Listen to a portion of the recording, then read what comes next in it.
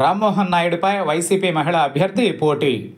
ఉత్తరాంధ్రలో వైసీపీకి చెక్కనిది దక్కనిది సీటు ఉంది అంటే అది శ్రీకాకుళం ఎంపీ సీటు. ఈ సీటును కొట్టాలని వైసీపీ రెండు ఎన్నికలలో చేసిన ప్రయత్నం విఫలమైంది. ముచ్చటగా మూడవసారి రెండు వేల ఇరవై నాలుగు ఎన్నికలలో వైసీపీ బలమైన ప్రయత్నమే చేస్తోంది.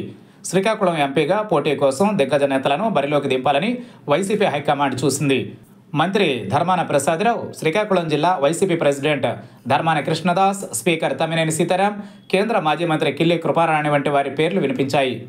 తటస్థుల నుంచి ఒక డాక్టర్ పేరు కూడా పరిశీలనకు వచ్చింది.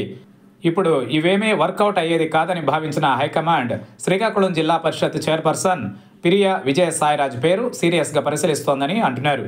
మహిళా కోటాతో పాటు బీసీ కోటా కూడా భర్తీ అయినట్లుగా అవుతుందని భావిస్తోంది అంటున్నారు.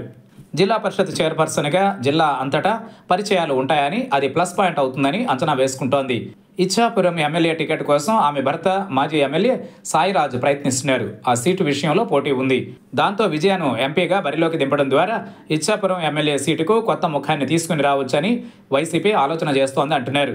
ఇక్కడ సామాజిక వర్గ సమీకరణలు అనుకూలిస్తాయని ఊహిస్తున్నారు. సాయిరాజ్ కాళింగ సామాజిక వర్గానికి చెందినవారు. శ్రీకాకుళం జిల్లాలో వారి సంఖ్య అత్యధికం. గతంలో వారి నుంచి అనేక మంది ఎంపీలుగా అయ్యారు. అయితే టీడీపీలో కెంజారపు కుటుంబం హవా మొదలయ్యాక ఎంపీ సీటు ఆ కుటుంబానికే పరిమితం అవుతోంది దాంతో కాళింగులలో తమకు ఛాన్స్ కావాలని ఆశలు పెరిగిపోతున్నాయి. దాంతో ఆ సామాజిక వర్గం నుంచి కూడా ప్లస్ అవుతుందని విజయను ఎంపీగా పోటీ చేయించాలని చూస్తున్నారు.